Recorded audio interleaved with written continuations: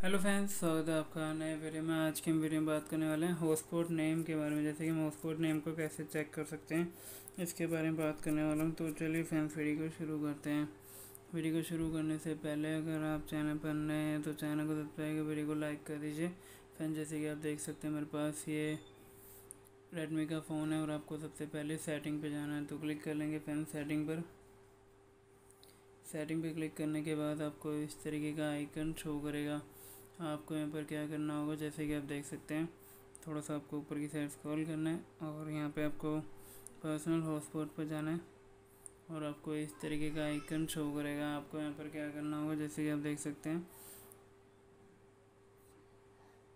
Setup and portrait hotspot पर जाना है और यहाँ से आप अपना हॉटस्पॉट नेम चेक कर सकते हैं। देखिए, जैसे कि मेरा हॉटस्पॉट नेम है, मेरा नाम है जैसे कि रविंदर और यहाँ पर मैंने अमेजिंग भी लगा रखी है, आप भी लगा सकते हैं इमोजिन और यहाँ पे मैं आपको करके बता देता हूँ, जैसे कि हम इसको चेंज करना चाहते हैं तो यहाँ से कट करेंगे। कट करने में कुछ भी लिखना चाहते हैं, लिख सकते हैं। जैसे कि मैं यहाँ पर रेडमी लिख लेता हूँ। रेडमी मैंने लिख लिया।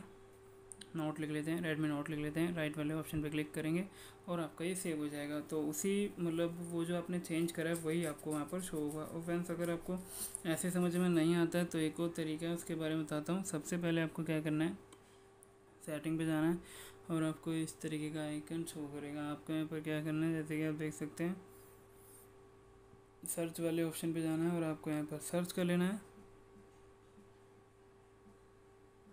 हॉटस्पॉट तो यहाँ पर शो हो जाएगा। शो होने के बाद इस पर क्लिक करना है। क्लिक करने के बाद सेटअप एंड पोर्टल पर हॉटस्पॉट पर जाना है और यहाँ से अपना हॉटस्पॉट नेम चेक कर लेना है और चेंज करना चाहते हैं चेंज कर सकते हैं। तो उम्मीद है फ़ैन वीडियो पसंद आएगी। वीडियो पसंद आए तो चैनल को सब्सक्राइब, वीडियो को लाइक कर दीजिए।